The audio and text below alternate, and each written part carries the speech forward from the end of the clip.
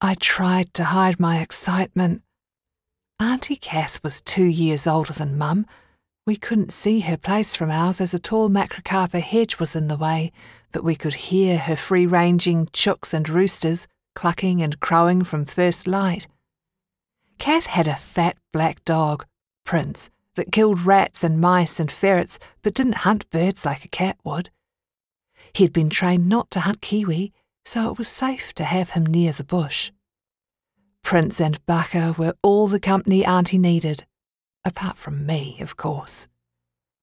Auntie Kath was a healer.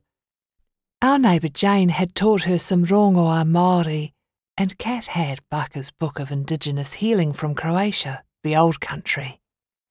Auntie made medicines from plants and gave special massages to help sick people get better. She and Jane were teaching each other about the plant medicines from their own traditions. One of the nice things about staying with Auntie was the way she included me. Mila, dear, would you like to help me make some medicine for your mum when she gets home? Yes, please. How about the babies? We'll make them some nice oils when they're a bit bigger. For now, let's help your mummy, eh? Sam read comics on Auntie's porch while she took me foraging in the forest.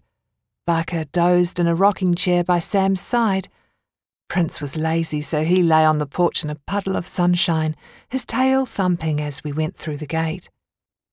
Auntie Kath showed me how to sit quietly and watch the plants after asking the forest gods Rongo and Tane Mahuta to show us which were the ones we needed.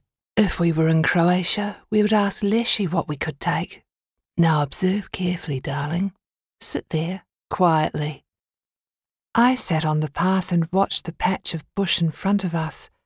There was no breeze, but a small shrub with heart shaped leaves began to tremble, though all its neighbours were still. See that? Auntie Kath asked. That's the one we need. The one that behaves differently to the others. On a windy day, the plant we need might become still as the others blow around. They are telling you that they're the one you should pick.